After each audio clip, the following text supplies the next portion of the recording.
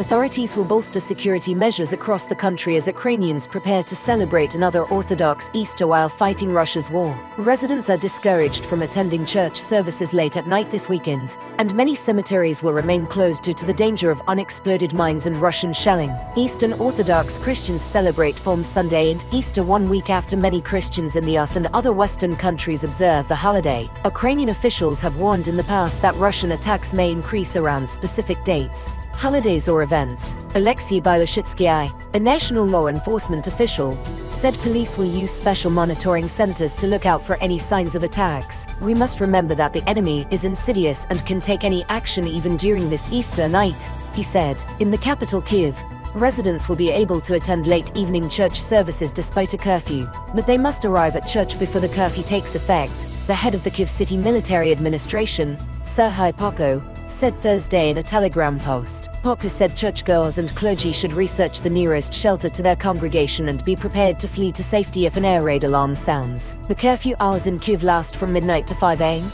local time, 10 p.m. At, as is the case for most of the country, in the broader Kiev region, residents will only be able to attend church services when the curfew is not in effect, and only a limited number of people will be allowed on the grounds of churches and cemeteries due to security reasons, the Kiev region's military administration said Monday. Many churches will broadcast services online, it added. In northeastern Kharkiv, which is Ukraine's second largest city, officials will close a number of cemeteries. Authorities warned that one of the cemeteries, the Slobozhenskaya Memorial Complex, has not been fully cleared of explosive mines. Other city cemeteries will be closed on Easter to avoid provocations by the enemy and to protect citizens from unpredictable missile attacks, the city council said. In the southern city of Kherson, residents won't be able to visit cemeteries or attend church services during curfew hours, the city council said Tuesday. It said the ban on cemeteries was due to mine danger,